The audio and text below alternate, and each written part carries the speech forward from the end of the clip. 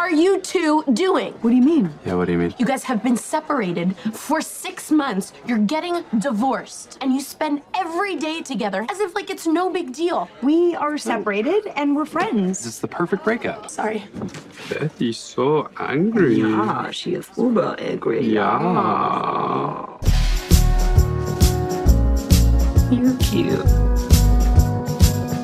Love you. Love you.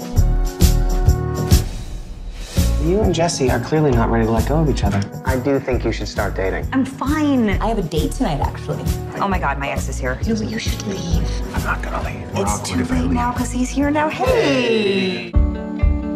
This is going to be hard to believe. What? but I met another person. Wait, what? I'm so sorry, Celeste. Are you okay? I'm totally fine. Uh. Are you having regrets about Jesse? What? No. If you ever need like someone to be with you and like hold you and caress you, I think I could be that guy. No. Good, good, good.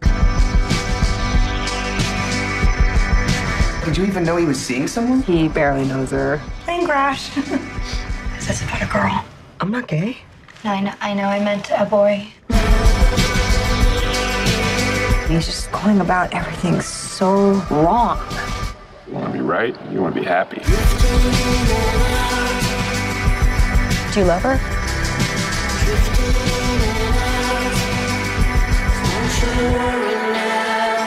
Do you think it's weird we hang out all the time? No, you're my best friend. You're my best friend too.